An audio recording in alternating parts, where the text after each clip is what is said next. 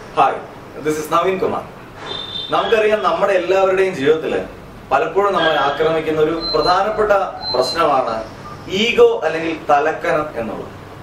മറ്റുള്ള ആളുകൾ പറയുന്നതൊന്നും അംഗീകരിക്കാൻ തയ്യാറല്ല. ഞാൻ പറയുന്നത് മാത്രമാണ് ശരി എന്നുള്ള ചിന്ത. ഇത്തരത്തിൽ ഈഗോ വഹിച്ചുകൊണ്ട് നടക്കുന്ന ആളുകളാണ് നമുക്ക് ചുറ്റുമുള്ള ഓരോ വ്യക്തികളും പലപ്പോഴും നമ്മളും. എന്നാൽ ഈ ഈഗോയെ തരണം ചെയ്യാനായി സഹായിക്കുന്ന ഒരു കഥയാണ് നമ്മൾ ഇന്ന് ഷെയർ ചെയ്യുന്നത്.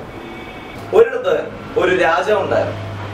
ഈ രാജാവ് തന്റെ രാജകൊട്ടാരത്തിലേക്ക് വരുന്ന ഓരോ വ്യക്തി വരുന്ന സമയത്തും തല കുമ്പിട്ട് അവരെ രാജകൊട്ടാരത്തിലേക്ക് വെൽക്കം ചെയ്യുന്ന ഒരു ശീലം ഉണ്ടായിരുന്നു.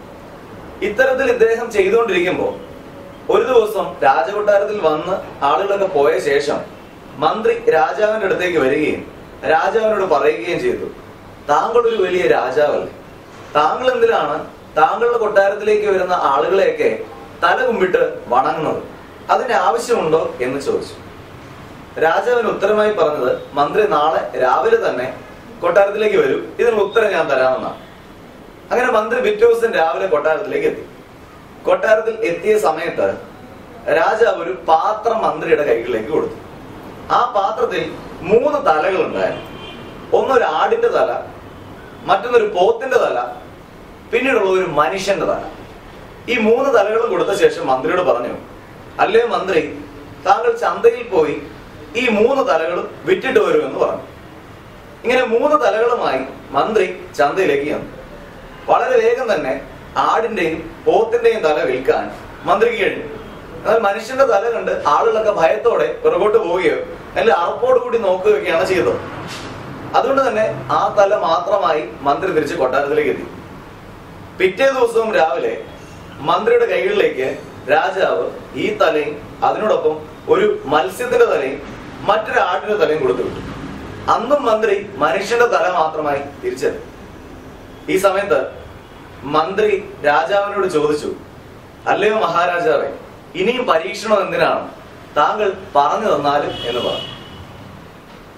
രാജാവ് അപ്പോൾ മന്ത്രിയോട് പറഞ്ഞു ഒരു മനുഷ്യനെ സംബന്ധിച്ച് അദ്ദേഹം ജീവിച്ചിരിക്കുമ്പോൾ മാത്രമായിരിക്കും അദ്ദേഹത്തിന്റെ തലയ്ക്ക് ഒരു വാല്യൂ ഉള്ളത് മരണശേഷം ആ തല മനുഷ്യന് ഭയമുണ്ടാക്കുകയോ അല്ലെങ്കിൽ അറപ്പുളവാക്കുകയോ ചെയ്യുന്ന ഒന്നാണ്.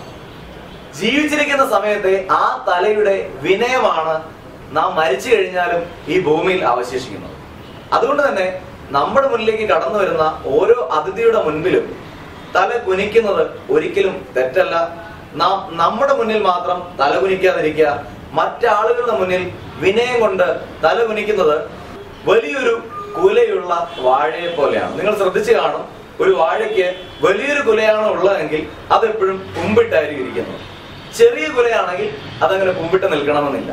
നിങ്ങൾ നിറയെ കണ്ടന്റുള്ള നിങ്ങൾ മിടുക്കനായ ഒരു വ്യക്തിത്വമാണെങ്കിൽ മറ്റുള്ള ആളുകളോട് വിനയത്തോടെ പെരുമാറുന്നതിൽ യാതൊരു തെറ്റുമില്ല. നാം കണ്ടിരിക്കുന്ന മഹാന്മാരായ ഓരോ വ്യക്തിത്വങ്ങളും അങ്ങനെയുള്ള ആളുകളാണ്.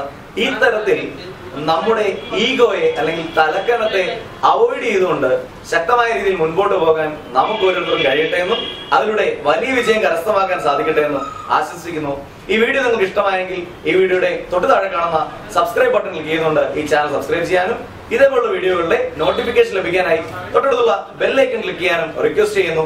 ഈ കഥ എനിക്ക് പറഞ്ഞു തന്നാൽ ലതീഷ് എന്ന എന്റെ ഒരു സുഹൃത്താണ്. അദ്ദേഹത്തോടുള്ള നന്ദിയും ഞാൻ അറിയിക്കുന്നു. Thank you for watching this video wishing you all the very best N K signing off